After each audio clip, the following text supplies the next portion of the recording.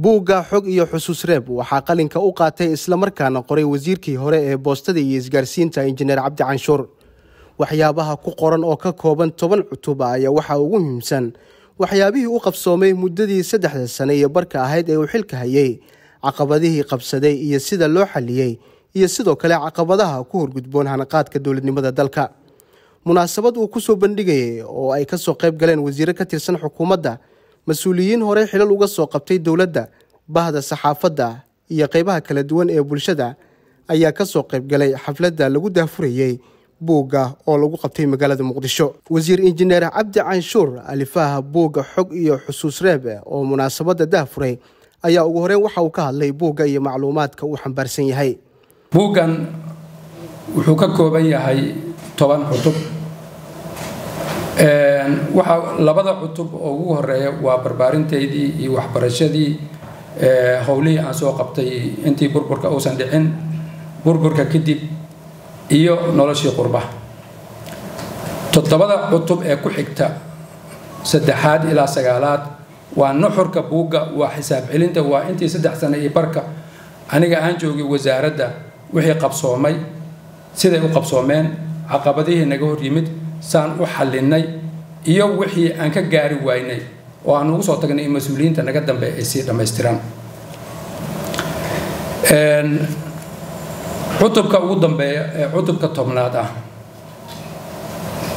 waa cutub aan ugu talagalay inuu dood abuuro. Waa mid ka baxsan howlihii tooska aniga aan u hay laakiin waxyaabihii intaan ku dhex jiray xukuumadda ii soo baxay caqabadaha hortaagan ee fadhiidka ka dhigay dowladnimadeen soddon sano in halkan taagnaan. Qaar ka mid a mas'uuliyiinta ka soo qayb gashay munaasabadda buugga lagu soo bandhigayay ayaa ka hadlay kulanka. Buuggan waxaan akhriyay qaybta ugu horeysa aada ii soo jiidatay oo ku saabsan koriimada oo buuliburta laga sheekeynayo oo laga sheekeynayo baydhabo oo laga sheekeynayo kismaayo oo laga sheekeynayo ololihii farbarashada horumarinta remiiga iyo waxyaabo kaloo badan. Iyo kabushiino markuu bartay iyo waxoo dhan marka qaybtaasna waan akhriyey jabtarka u dambeeyana waan akhriyey oo ku saabsan golihii dowladda iyo talooyinkiisa ama waxyaabaha uu dhaliilayo iyo kuwa uu dood furayo. Canshuur buuggiisa ma akhrin laakiin waan qaatay waan akhrin doonaa.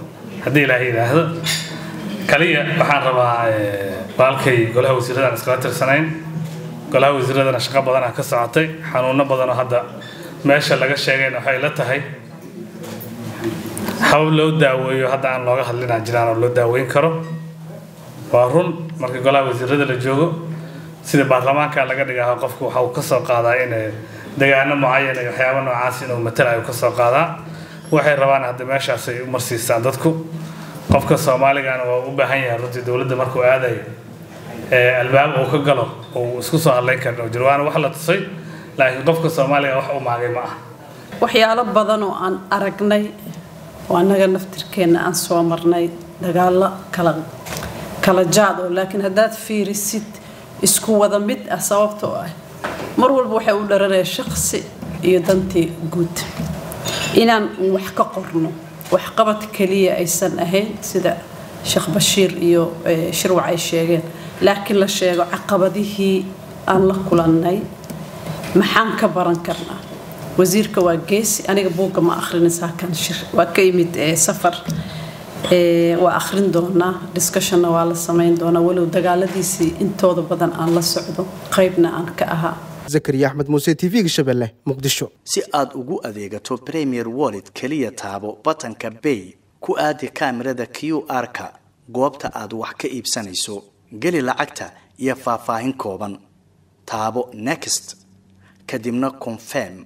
Ugu dambayntiina geli mbiinkaaga si aad u dhammayso iibsashada. Premier wallet waa habka ugu casrisan ee aad ku adeegan karto maalin kasta